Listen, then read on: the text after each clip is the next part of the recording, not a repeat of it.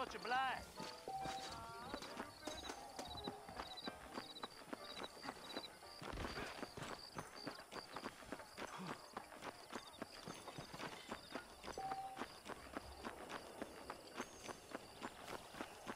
I don't...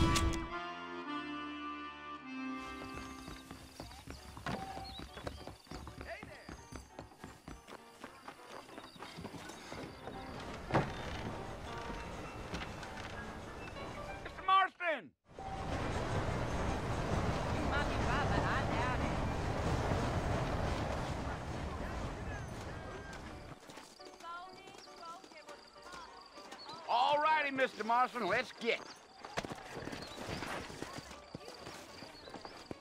Howdy, mister. Yeah!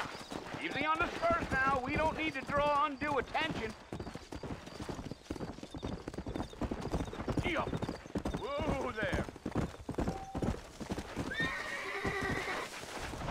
Come on!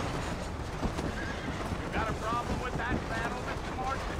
So it's Fort Mercy you visit? That's right. Ain't taking nobody up to the fort in a long time. Strange place for a decent fella to want to visit, if you don't mind Miss Vance. Who said I was a decent fella? It's been abandoned for years now.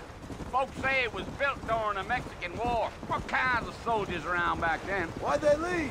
Well, I ain't entirely sure. I, I heard they had to go up north to fight Indians, or maybe they got tired of being soldiers and went looking for gold.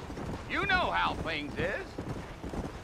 So what are you doing up at the fort? I'm looking for an old friend. Well, like I says, you ain't gonna find many folk round those parts these days. Those you do find are about as sociable as an ulcerated back tooth.